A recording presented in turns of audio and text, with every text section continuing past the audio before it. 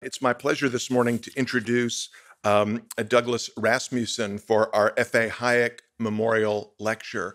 And this lecture is sponsored by Greg and Joy Morin, who are here with us this morning. So thank you very much for your kind sponsorship.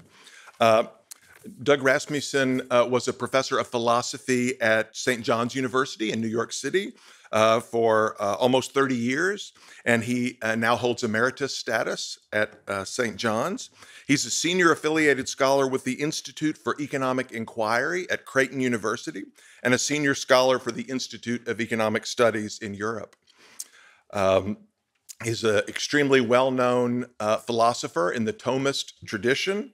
Uh, he's authored uh, a number of books, mostly with uh, his longtime colleague Doug Den Uyl. Uh, so Doug and Doug, the Doug and this will be part of the Doug and Doug show. Uh, those books include Liberty and Nature, an Aristotelian defense of liberal order, Norms of Liberty, a perfectionist basis for non-perfectionist politics, The Perfectionist Turn, and The Realist Turn. Uh, he's also co edited with uh, Tibor Machan uh, an important book on libertarian theory called Liberty for the 21st Century Contemporary Libertarian Thought. Uh, he's authored uh, over 100 articles in uh, anthologies and in journals such as the American Catholic Philosophical Quarterly, the American Philosophical Quarterly, International Philosophical Quarterly, the Journal of Social Philosophy, the New Scholasticism, the Personalist, Public Affairs Quarterly, and many, many other publications. Uh, he has served on the steering committee for the Ayn Rand Society and is a member of the Executive Council for the American Catholic Philosophical Association. Uh, he's a co editor with uh, Doug Den Uyl of The Philosophic Thought of Ayn Rand, a very important book published in 1984 that was designed to introduce Ayn Rand's thought to professional academic philosophers. Uh, his research uh, areas, his areas of interest, uh, include epistemology, ontology, ethics, and political philosophy, as well as the moral foundations of capitalism. Very important topic uh, uh, for us for us here. Uh, he's currently contributing an essay to a Festschrift that he is editing, and he's assisting in developing a Center for Natural Law and Natural Rights at the University of Bucharest in Romania. He's a contributor to Law and Liberty and a member of the Association of Private Enterprise Education. Uh, he also uh, knew Murray Rothbard quite well, and like others, I'm sure has interesting stories to tell about those uh, about his his interactions with Murray. So, uh, Doug, thank you very much for coming to Auburn, and we look forward to your remarks.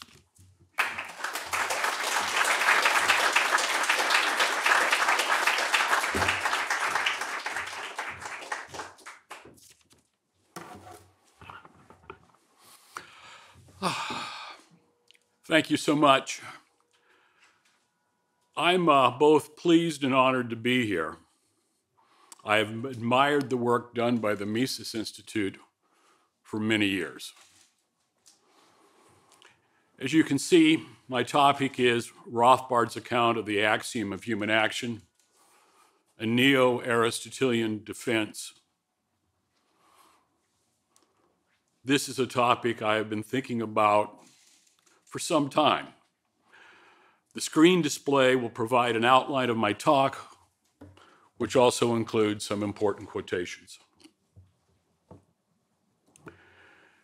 F.A. Hayek noted Nobody can be a great economist who is only an economist.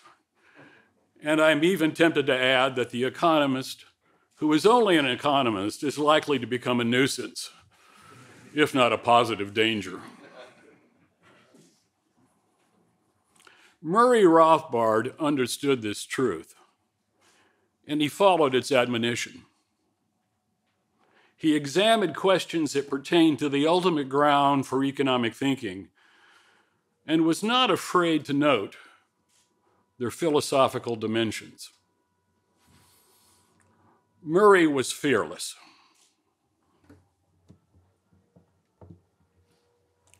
In this regard, Rothbard has famously stated whether we consider the action axiom a priori or empirical depends on our ultimate philosophical position. My own epistemological position rests on Aristotle and St. Thomas rather than Kant. and hence I would interpret the proposition differently. I would consider the axiom a law of reality rather than a law of thought, and hence empirical rather than a priori.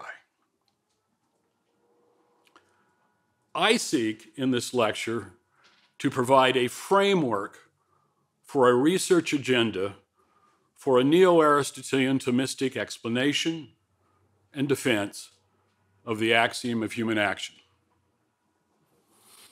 Oh, by the way, the terms action axiom and axiom of human action will be used interchangeably in this presentation.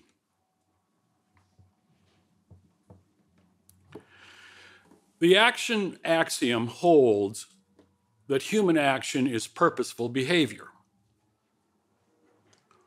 Why is a neo Aristotelian Thomistic explanation and defense of the axiom of human action necessary? Why does it matter? There are at least two reasons. First, it can be seen as a response to the challenge to economic reasoning presented by Amartya Sen in his seminal essay, Rational Fools. This challenge involves an economic point and an ethical point.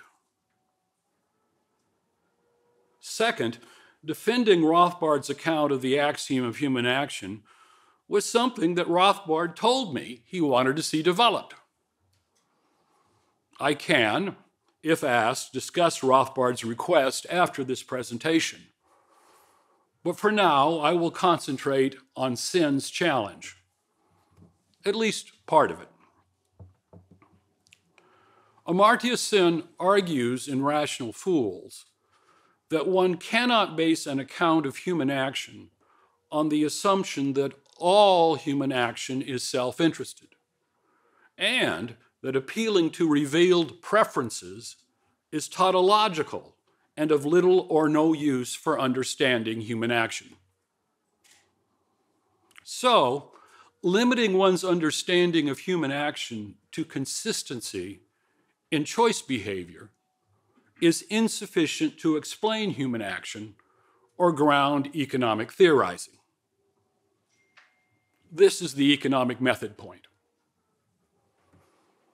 The ethical point is that such a so called purely economic view of human action makes a human being a bit of a fool and close indeed to a social moron. There is more to human life than utility maximization.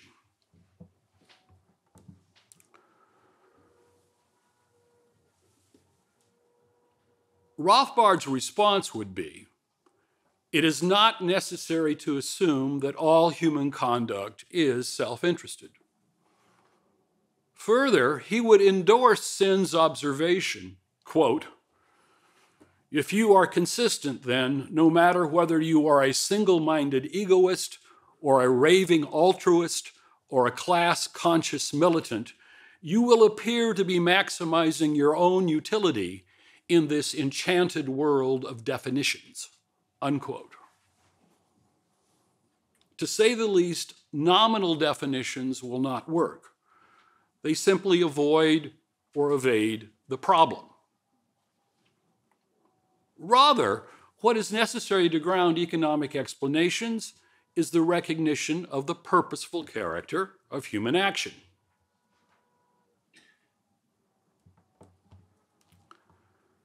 The purposeful character of human action results from the very nature of human beings. This approach does not consider what might be the motives for taking an action or whether the end of an action is choice worthy. Rather, it simply focuses on the formal relations between ends and means. The notion of homo agens, as developed in Austrian economics, should replace homo economicus as the foundation for economic theorizing.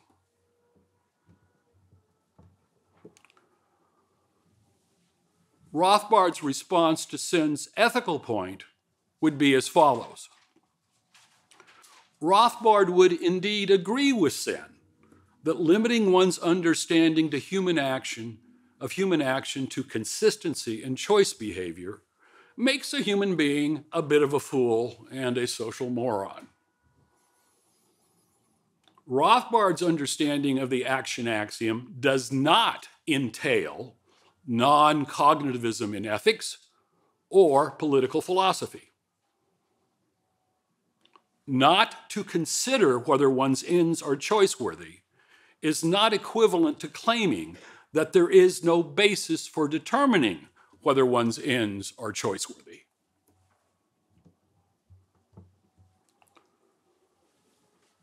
Further, since Rothbard was an advocate of natural moral law and natural rights, he would argue that Homo agens and Homo moralis are complementary, not antagonistic accounts of human nature.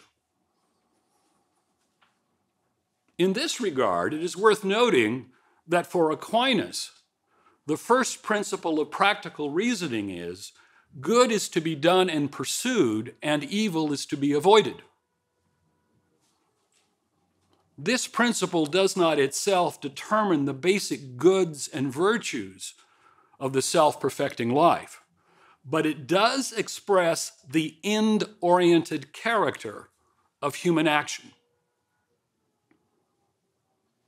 However, since Douglas Den Uyl and I have developed a version of natural moral law and a basis for natural rights elsewhere, I leave a discussion of the complementarity of Rothbard's account of the axiom of human action with natural law and natural rights for another occasion.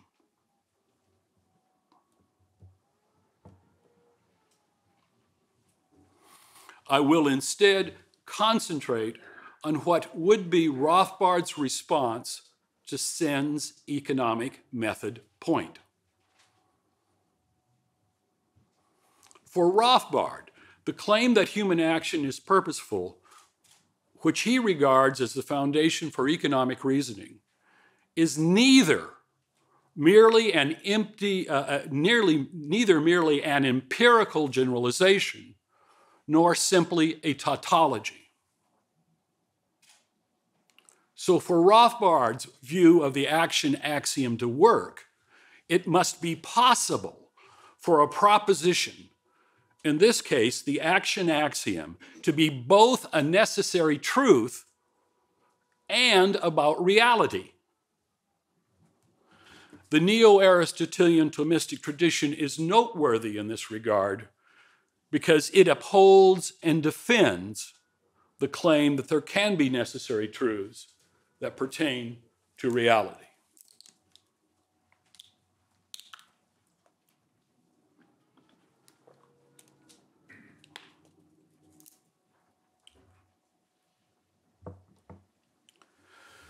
That human action is purposeful is for Rothbard an axiomatic, self evident, necessary truth.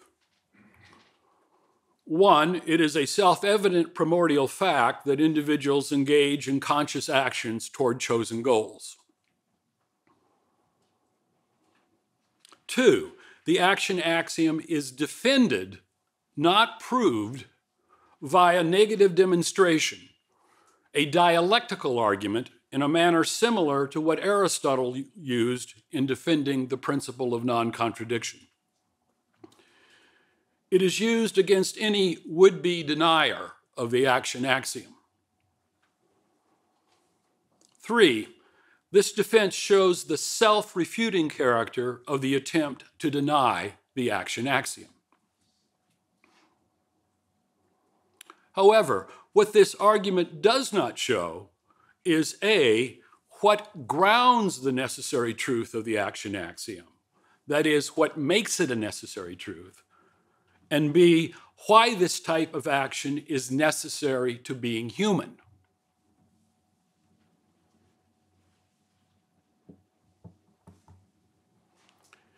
In response, Rothbard states all human beings act by virtue of their existence and their nature as human beings.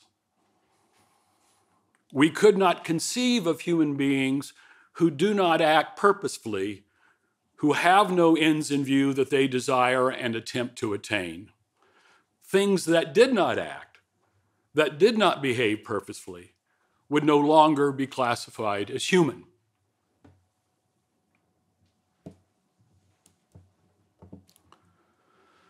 So, what is it that makes the action axiom a necessary truth and purposive behavior necessary to being human? Answer The action axiom is a necessary truth because acting purposively is an essential expression of human nature. Purposeful action is necessary to being human. But now we need to consider more deeply what is involved in this answer.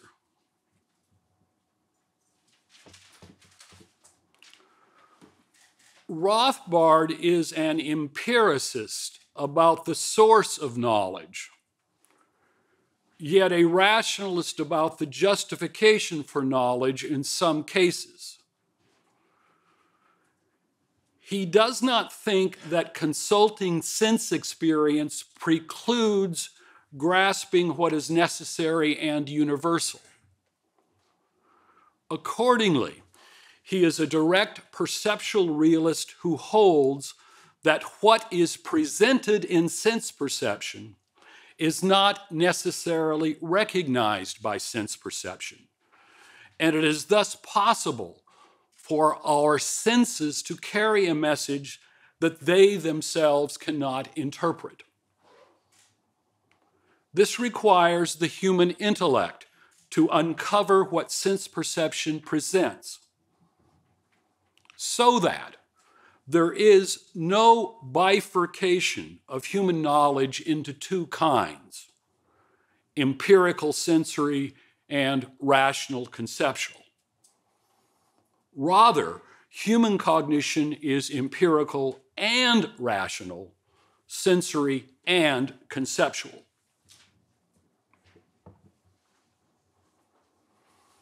As Rothbard states, I would deny as an Aristotelian and Neo Thomist any such alleged laws of logical structure that the human mind necessarily imposes on the chaotic structure of reality. Instead, I would call all such laws laws of reality, which the mind apprehends from investigating and collating the facts of the real world.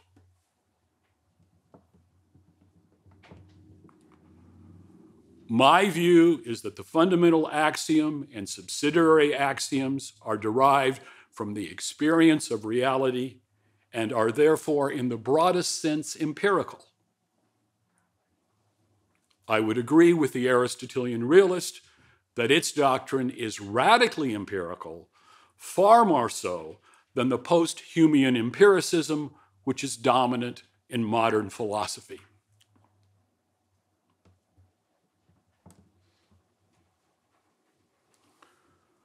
Rothbard's account of the action axiom is dependent not only on a view of sense perception, but also on a view of conception and thus abstraction developed by the Aristotelian Thomistic tradition. However, there are objections to this view of conception. Locke says abstractions provide only a partial conception of the nature of something. Berkeley denies that we can have abstract ideas. Kant says they cannot be based on sense perception, but only imposed by the human mind. Geach and Sellars have in the 20th century made similar charges against abstraction.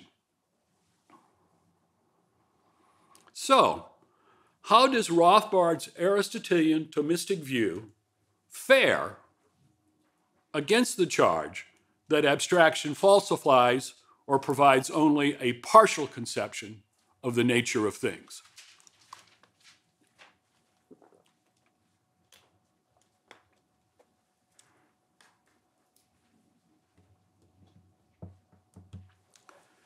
The classic reply to this charge is that abstraction does not require either falsification or subtraction. It holds that even though our thought must answer to reality if we are to find truth, there is nonetheless a difference between thinking something is thus and so and its being thus and so. Our knowledge must be of reality but that does not mean that our knowledge is reality. Yet, if the way that things exist in thought is different from the way that things exist apart from their being thought about, then how can we ever avoid falsehood? The answer, of course, depends on the manner in which thought is different from the things that are thought about. But how are we to understand this?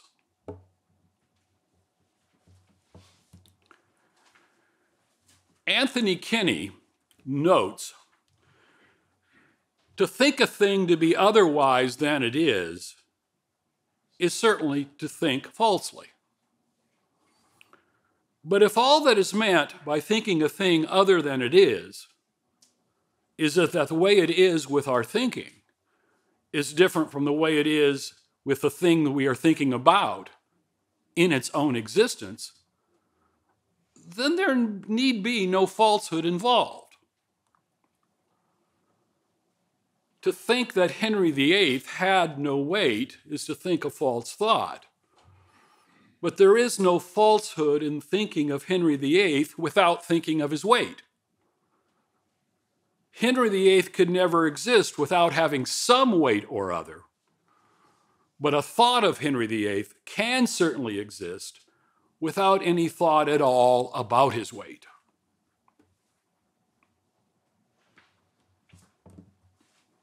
Moreover, there is then one, a type of thinking that involves considering the form or character of something in an indeterminate manner so that its individual differences are not specified, but are nonetheless regarded as requiring specific determination. For example, the concept human being. And this type of thinking can be contrasted with two a type of thinking that separates or excludes spe- specific determinations from the form or character of something. For example, the concept humanity. The first type of thinking is, and this comes from our medieval sources, abstraction without precision. And the second is abstraction with precision. In the case of precision, the form or character is considered as not related to its specific determination. For example, humanity. And for abstraction without precision, the form or character is not considered as related to its specific determination. For example, human being.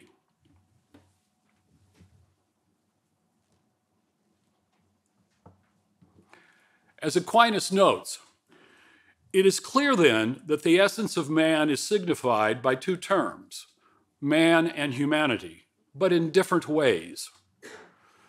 The term man expresses it as a whole because it does not prescind from the designation of matter, but contains it implicitly and indistinctly. This is why the term man can be predicated of individuals. But the term humanity signifies the essence as a part, because it includes only what belongs to man as man, prescinding from all designation of matter.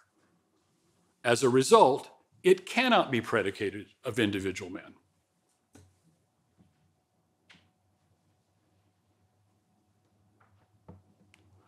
Thus, we can abstractly consider the form or character, that is, the attributes of individual human beings, say Barack Obama, Donald Trump, and George Bush, without precision.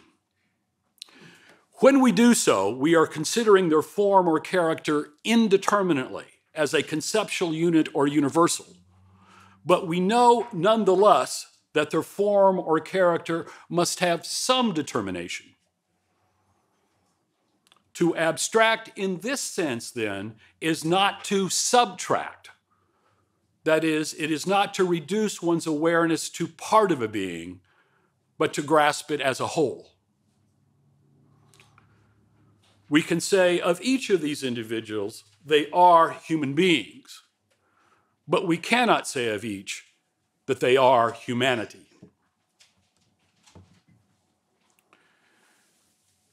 To abstract without precision, then, is neither to falsify nor to lessen our apprehension of what is encountered through sense perception. For as said, the form or character, when so considered, is not excluded or cut off from its individual differences, which are treated as implicit. Indeed, this manner of abstraction enhances our apprehension and allows us to discover what human beings essentially are.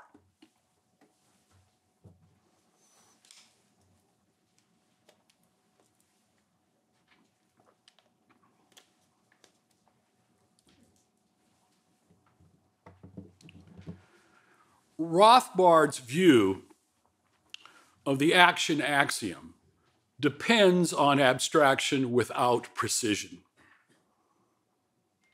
It does not positively exclude individual differences of individual human beings, but instead treats these differences as implicit. These differences only become explicit when each instance of what is signified by the concept human being is considered. For example, Obama, Trump, or Bush. What is common to these individuals must be expressed determinately in their concrete forms or characters of these individuals.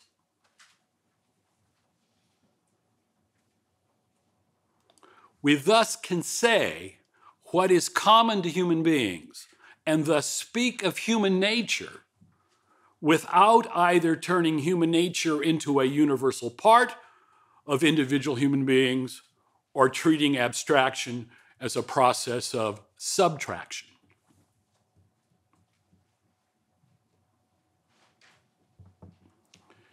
It is from our conceptual grasp of human nature that the axiom of human action is justified. One does not need to consult future experience to justify this claim because one is speaking of a certain kind of being and how it acts.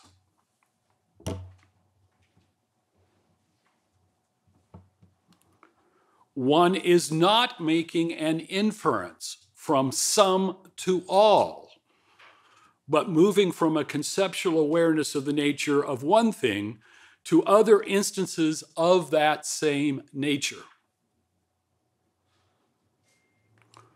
Whatever pertains to a human being according to his or her nature will also be true of every individual with that same nature.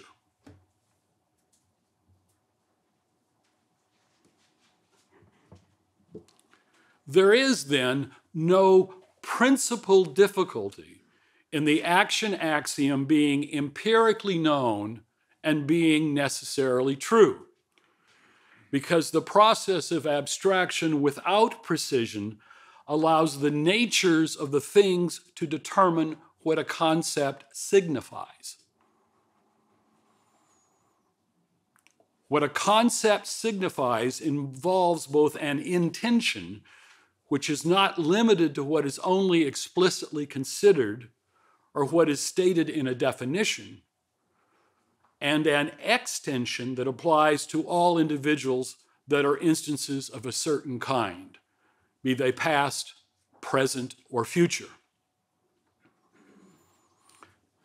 The basic principle here is that all natures are individualized and all individuals are natured.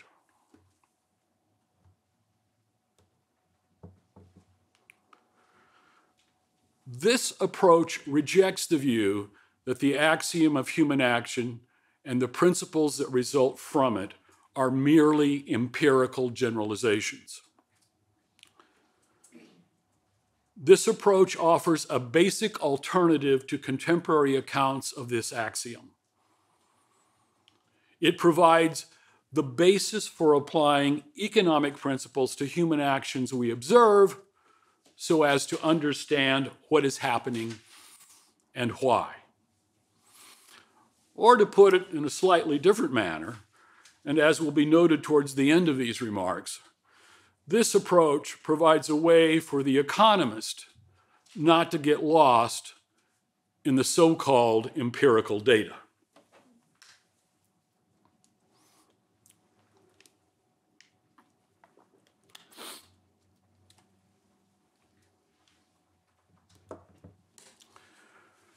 Rothbard holds that the axiom of human action is not only empirical and a priori, but also a self evident necessary truth.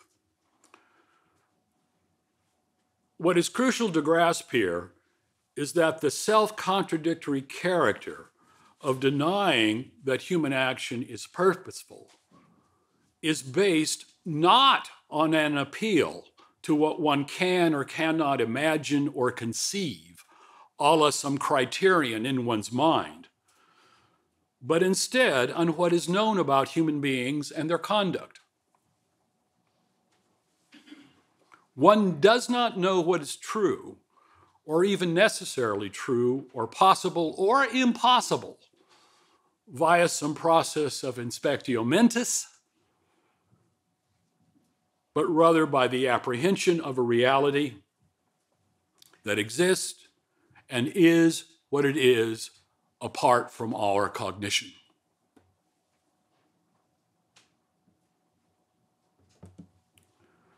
Most importantly, in this regard, Rothbard's account of the axiom of human action depends on the Aristotelian Thomistic rejection of the central epistemological assumption of so much modern empiricist and rationalist thought, namely rejecting that percepts and concepts are the immediate and direct objects of cognition,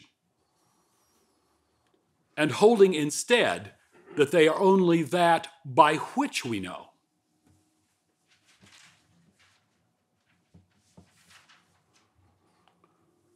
Rothbard's account of the action axiom is based on the insight that the basic tools of human cognition, from percepts to concepts to propositions to arguments to theories, have an inherently relational or intentional character.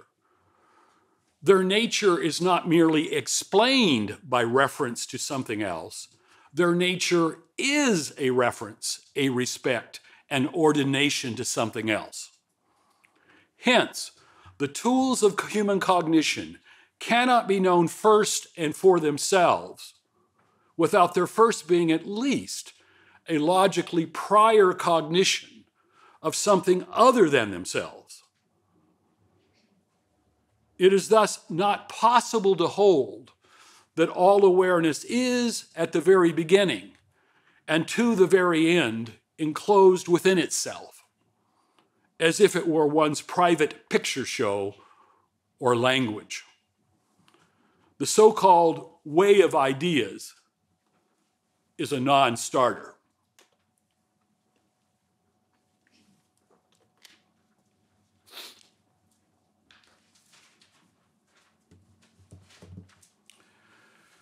Sometimes it is argued that to claim that we can know necessary truths requires that we hold that human beings are infallible. But this is not the case. Three observations are important in this regard. First, being aware that you may be mistaken doesn't mean that you are aware that you are a fallible human being. It means that you have a concrete reason to suppose that you may be mistaken in this case.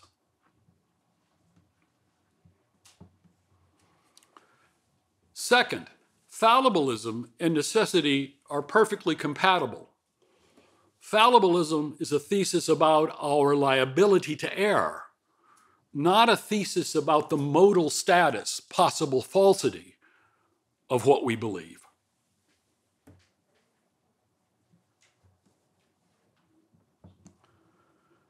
Third, it is indeed odd to what extent it is generally supposed that any recognition of essences in things, coupled as it is with a logic of what statements and necessary truths about the world, must inevitably bring in its train an extreme dogmatism, claiming an absolute certainty for its pronouncements on what is necessarily the case.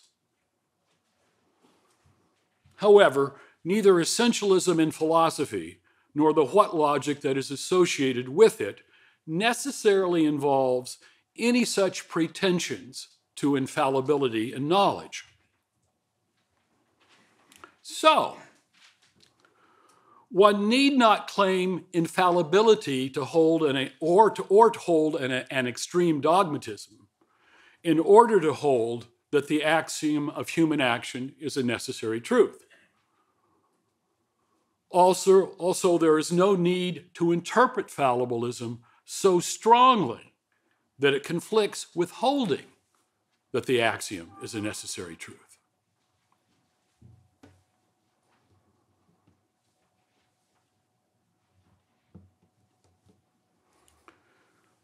Rothbard claims that the axiom of human action is grounded in human nature. How does this work? Let us begin by considering the real definition.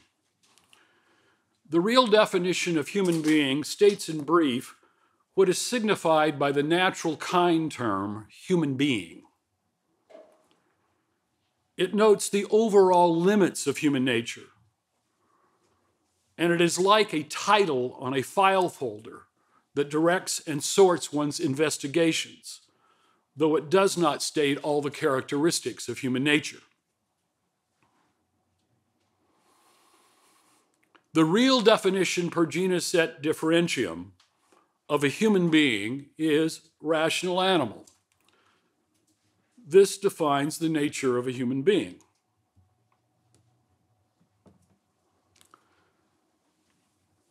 The genus of the real definition is animal. And so everything that is true of being an animal is also true of a human being. So a human being is also living, sentient, individual, and entitative. Moreover, what is true of each of these considerations is true as well of a human being. For example, being entitative involves space and time.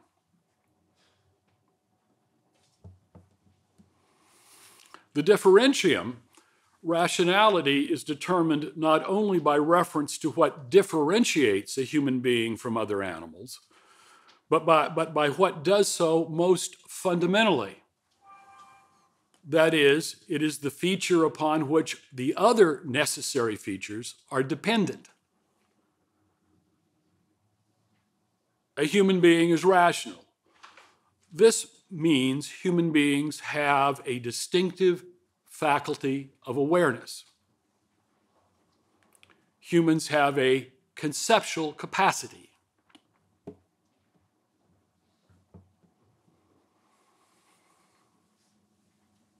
Such a capacity fundamentally involves the power to grasp the world in conceptual terms. That is to say, the power to form classifications, develop theories, formulate hypotheses, come to judgments, derive conclusions, reflect on various subjects, be they past, present, or future, make evaluations, develop purposes, and plan actions. This capacity is expressed in speculative reasoning, the, the pursuit of truth, and practical reasoning, the pursuit of human good. It is manifested in our language as well as in our development of culture and conventions. And indeed, in those practices that constitute what could be called forms of life.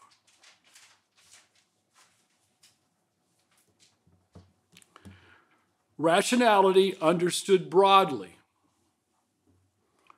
as a conceptual capacity, is the fundamental modality by which human beings consider and take on the issues of human life. It is the fundamental operating feature of the human life form or nature.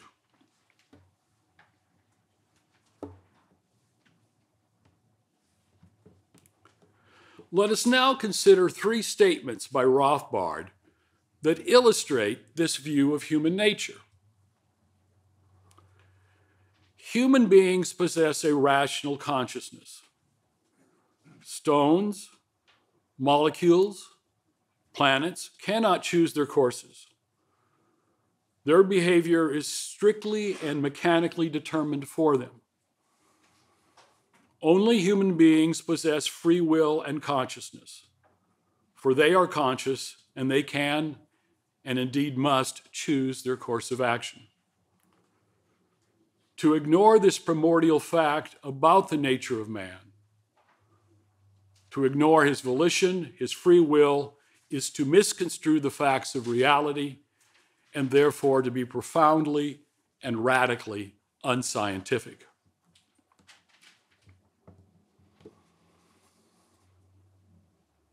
The fundamental axiom, then, for the study of man is the existence of individual consciousness. Not being omniscient, a man must learn. He must ever adopt ideas and act upon them, choosing ends and the means to attain these ends.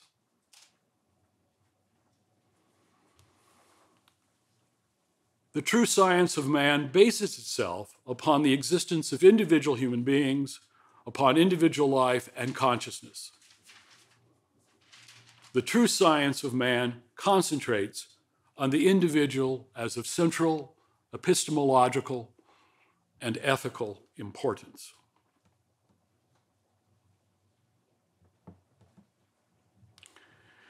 In these passages, Rothbard is appealing to an array of facts that pertain to the natures of human beings. This knowledge is based on sense perception, but it is not the result of any special experience or experiment. Instead, it is based on general experience that nearly everyone possesses.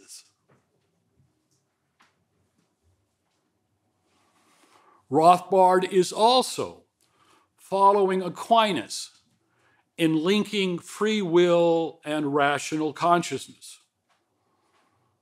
For as Aquinas states, man is master of his actions through his reason and will, whence too the free will is defined as the faculty and will of reason.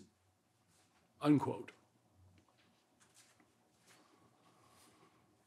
Self direction and the exercise of reason are not separate acts of two isolated capacities, but, but distinct aspects of the same conscious act. Human reason is, in its very essence, a self directed activity.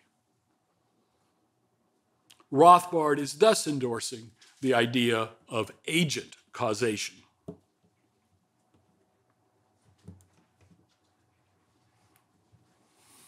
The character of the explanation and defense of the axiom of human action offered here is not merely a case of a rationalistic unpacking of the meaning of the concept human being, as if it were some private internal repository of knowledge or an isolated atom of meaning.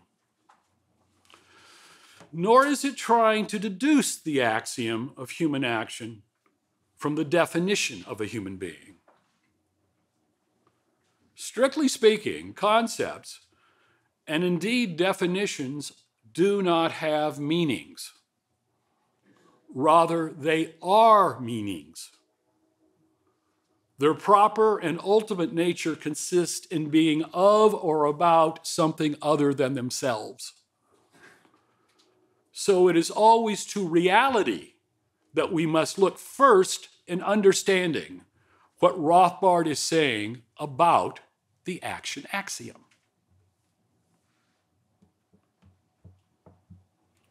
Finally, and most importantly, Rothbard requires, excuse me, Rothbard's account requires recognizing that as living things, human beings are teleological beings that cannot be understood for what they are apart from the fact that their human reason and volition, and thus human action, are end oriented.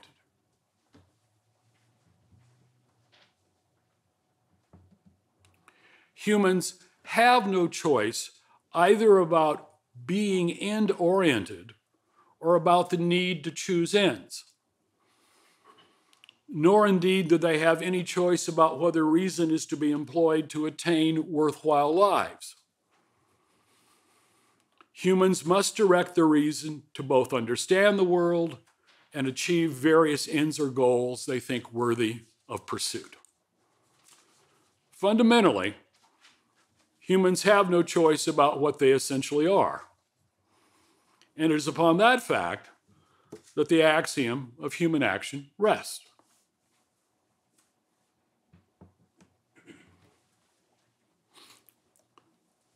As Rothbard states, man's necessity to choose means that at any given time he is acting to bring about some end in the immediate or distant future. That is, that he has purposes. The steps he takes to achieve his ends are his means. Man is born with no innate knowledge of what ends to choose or how to use which means to achieve them. Having no inborn knowledge of how to survive and prosper, he must learn what ends and means to adopt. And he's liable to make errors along the way but only his reasoning mind can show him his goals and how to attain them. This is what the action axiom involves, and it is the starting point for economic theory.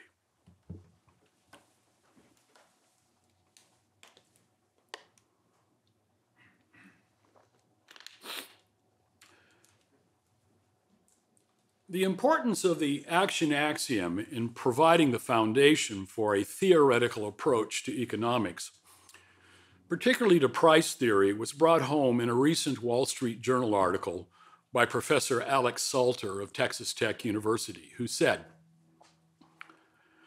The a-theoretical approach of contemporary economists makes them particularly susceptible to the technocratic pretensions of the center left. If, contrary to the claims of price theory, there are no enduring laws of economics, then there is no reason to stop the technocrats from tinkering. Many of these economists don't realize that, that they are being politically compromised. They, uh, they see it as just the facts, ma'am, pragmatism. In reality, it is ideology sneaking in through the back door. Regardless of how the justification of the rest of the propositions of praxeology and economic theorizing might be fair, regardless of how we go on and try to consider the application of economic principles to particular situations, Rothbard's account of the axiom of human action, when explained and defended in Neo Aristotelian Thomistic terms, provides a viable and powerful alternative to positivist, constructivist, and neo pragmatist accounts. It allows for the possibility that there are economic laws not merely empirical generalizations, and that these laws are necessary truths reflective of reality and are, and are thus not merely tautologies or human constructs. It is an account that economic theory desperately needs. And as I think of it, it is an account that philosophy desperately needs. No, as I think of it, it is an account our culture desperately needs. And here are some references. Thanks so much.